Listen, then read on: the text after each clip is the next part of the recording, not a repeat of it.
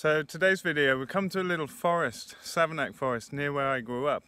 And this is an ancient woodland that has the highest concentration of ancient trees in Europe. And I want to show you some oak trees like you maybe have never seen before.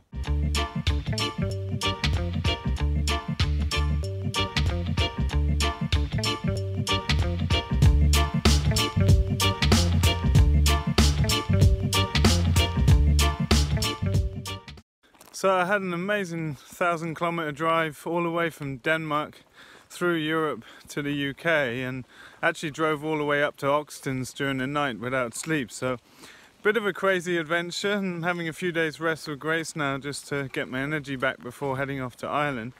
I think you'll agree this amazing farms I've been visiting. It's such a privilege and a pleasure to go and check out what people are getting started with and, and, carrying on with as well. But I've really enjoyed the process and I think a lot of you have too. So I'm really glad that that's been beneficial for us all. And yeah, we're just going on a few days trip around the south of England. We might do a bit of fly fishing and get to the coast later. But this is a very special place for me to come here. There are about eight or nine oak trees that are over a thousand years old and I guess most people have never seen oak trees like that. And I want to show you a few of them as we take a walk in the forest and just really, yeah, it's awe-inspiring place. And to, to come to ancient woodlands, it's something that's very special indeed to observe the ecology and understand like what these woodlands would have looked like in history. Some of these oak trees have been here since before England was actually a country. So let's go and have a look at a few.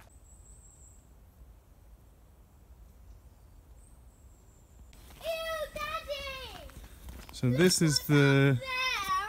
What's that? Oh, it's an animal bone. It's a leg of a deer. That's strange. This is the Croagmore oak. Hey! Look! Acorns! Let's take some acorns from this one. This is a thousand years old. Just have a look at this tree.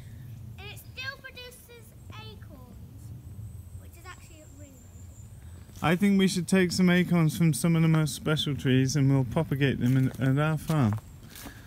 There's a whole mycelial ecology in here and a whole load of rocks. Who would put that leg up there? Wow, just look at this thing.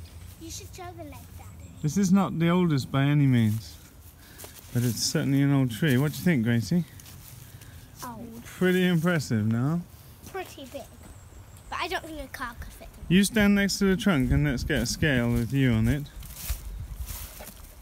Pretty big, but we're about to see an even bigger, more famous tree, the King of Limbs. There it is, Gracie. This is King of Limbs.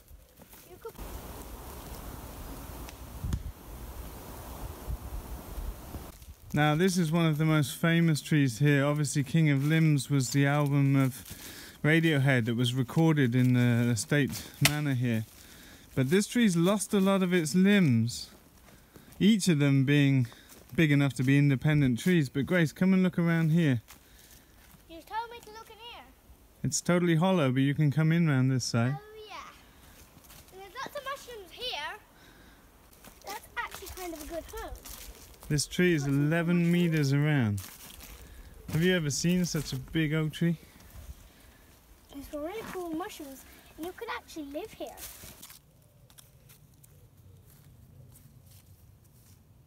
So King of Limbs is a particularly special tree. In fact, there's a whole ecology that takes place inside ancient hollow trees. It's a place where bats come to live, and bats are therefore sleeping inside the hollowed out tree and dropping high phosphate manure right inside the tree where it actually wants it.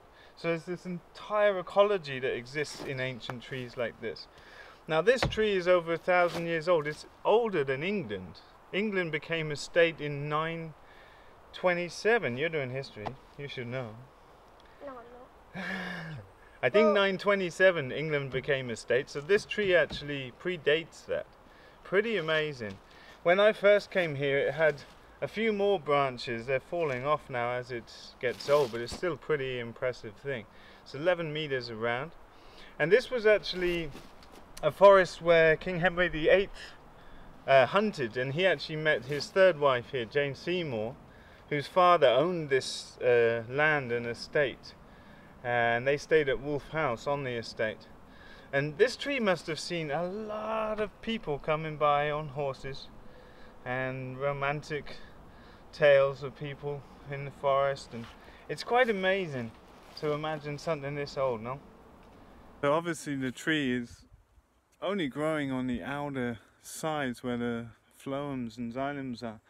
So this is basically fossilized wood. We're right in the middle of the heart of the tree. And this is a thousand year old material. It's turned into dust now. But pretty incredible. I don't know if this will come out on camera. There's bit of honey fungus on here now, but we're looking up into the middle of this. I mean, this wood looks burnt almost. I mean, it's just so old, it's falling apart. Such an incredible thing to be in the middle of such an old organism. Now, Gracie's actually missing school, uh, but I think we're learning a lot about ecology and history. Much in, more in, than I'd learn in school. I think so, because look where we are right now. We are on a Roman road. What, this was the Roman road? Yeah.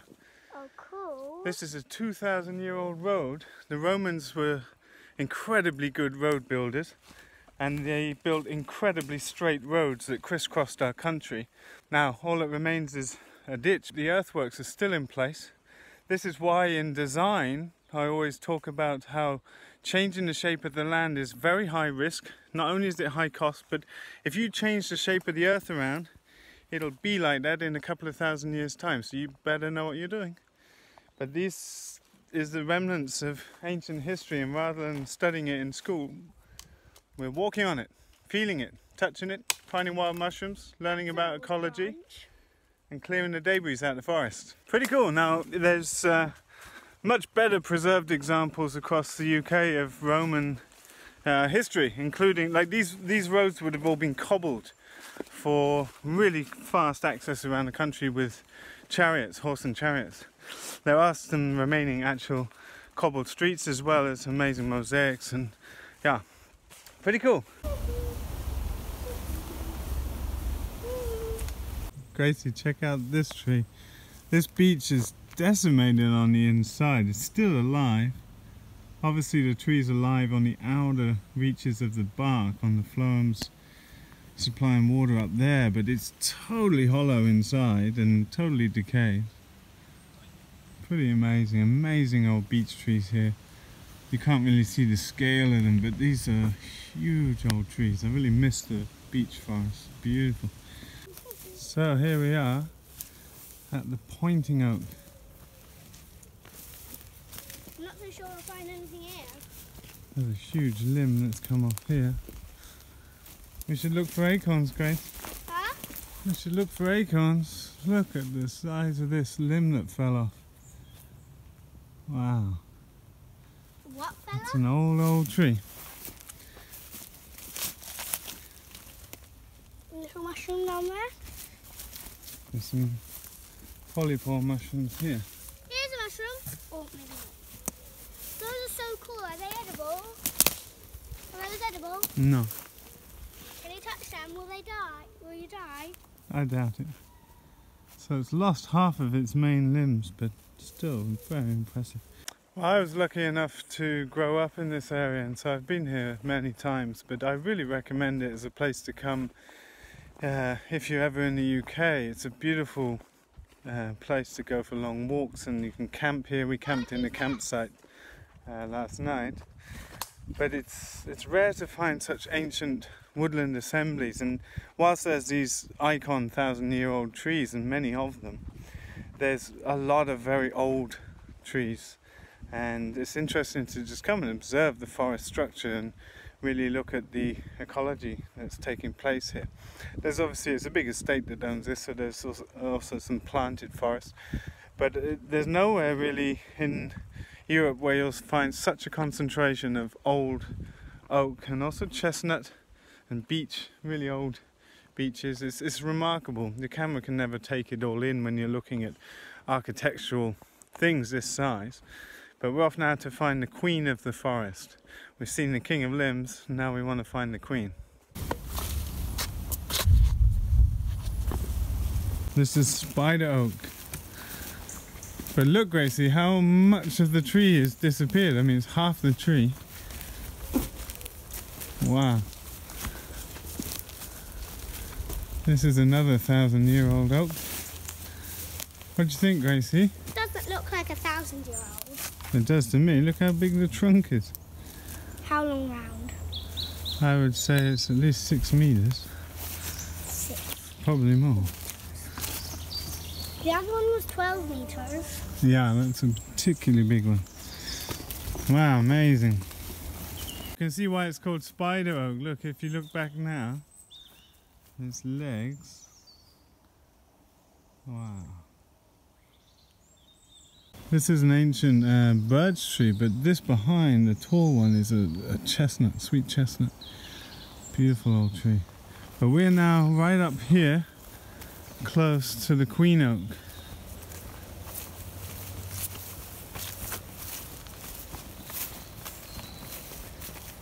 Why is it called Queen Oak? Look at this chestnut, Gracie. Wow. This place is incredible. Belly. That looks like a bit of like a Look at that for a chestnut. Unbelievable. horse chestnut. That's that's got to be of a similar age group. Not it's not horse chestnut, it's sweet chestnut. You can see them up there. Wow, that's amazing. This is the queen oak. It goes with the king of limbs. Now this tree is very old and very decayed. I mean, look at this. There's barely anything left alive. You can get inside that one, Gracie, and see up inside.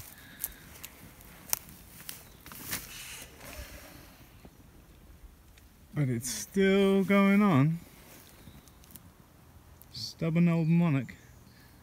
We've just been thinking, Grace and I, because your mother, Michelle, wanted, well, you suggested that you wanted to start uh, earning your own money, didn't I you? wanted to get my own money, and then my mum said I should start my own business. Yeah, Michelle says that Grace should start her own business already. So, one of our uh, missions was to think of a little idea on this few days that we have away, and we've come up with a good idea. Mummy said she'd give you something to start the business. Um, twenty pounds. Twenty pounds? Oh my that gosh! twenty pounds, I'll buy as many stamps and envelopes as I can. Stamps and envelopes to get. Okay, so this is the plan, right? We're at some of the most amazing old trees in Europe, let alone England. So what Grace has decided to do, which I think is an amazing idea, I'm going to be your customer. She's going to gather together acorns from some of the oldest trees in Europe. This King of Limbs being the, the most notable one. And but we will gather acorns now, and then what will happen? People can. They can buy them You're going to send five at a time. five at a time at five pounds, and I'll save one pound from each person, and then I can do that towards more stamps and envelopes. That's a good idea. So you reinvest some of the money into your supplies and your fixed costs. Well, but I think it's really is, cool. There's not so many here. Well, there are. We have to search for them. Well- They're dropping acorns. It's the perfect time to do this. So, so Grace, you're offering like anyone anywhere in the world. If you want five acorns from the oldest oak trees in Europe, I think we'll collect some from here, some from the Crockmore oak, and there's quite there's about eight more. You'll handwrite the envelopes and send five acorns with which tree they came from to anyone anywhere.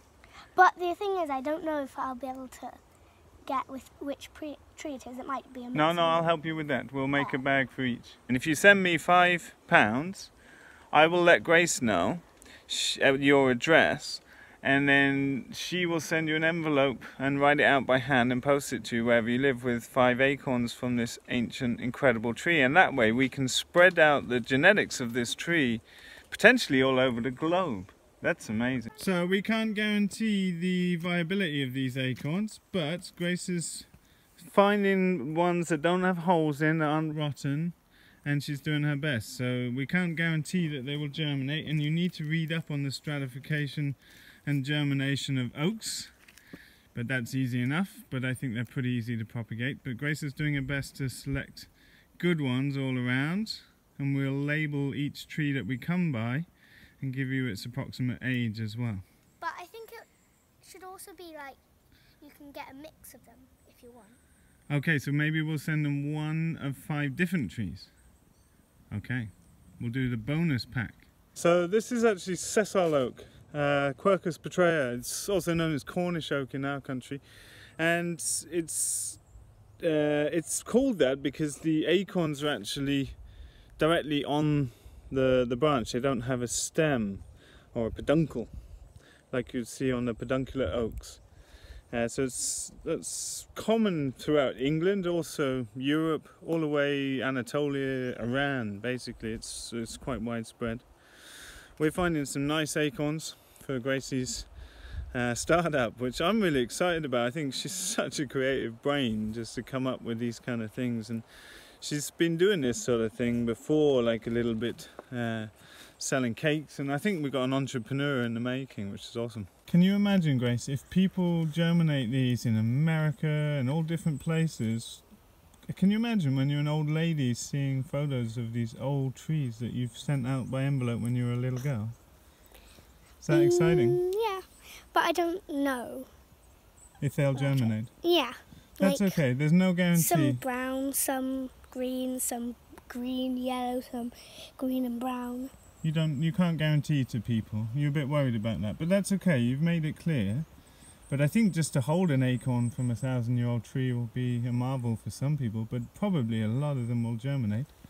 That'll be amazing. People could send you photos, couldn't they? Grace is a bit worried about whether the acorns will sprout, and we obviously can't guarantee that. We're just coming today to have a little look. But what we can guarantee is where the acorns come from because the specimen old trees are actually surrounded by typically beech or uh, spruce or whatever in the more modern forest. There's, there's patches of ancient beech and ancient oak. So we can guarantee the acorns we're sending are from these particular trees. That's a really cool idea. I'm, I'm super impressed with Gracie and just a quick uh, creative process she went through to come up with this just as we we're walking along. It's like it's totally her idea and I'm totally up for supporting it because I think it's the sort of thing where you folks that are following my channel and watching what we do is it's such a, an easy way to empower a young woman to start you know this is the sort of experience I see that could really impact her life and send it in a different direction in a small way perhaps. But you know to she'll never forget like a response from people all over and having to do basic accounts and write envelopes and post them off and take responsibility for it. it.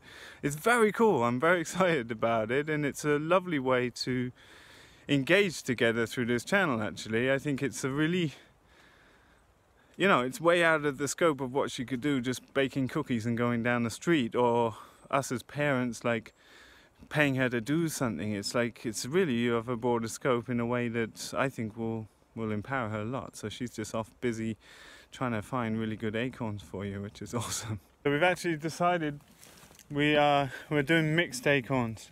So you get some from the queen of the forest, the king of limbs, and some of the other ancient trees, just because I think that's a neat way to do it. It's very limited edition, so there aren't many uh, sets for Grace to send out, but uh, do support her if you feel moved to. And it's amazing to just spread some of these acorns around because it's such a an amazing lineage to, to propagate. I hope some of you managed to propagate them. We'd love to hear from you if you do. That'd be awesome to map them out.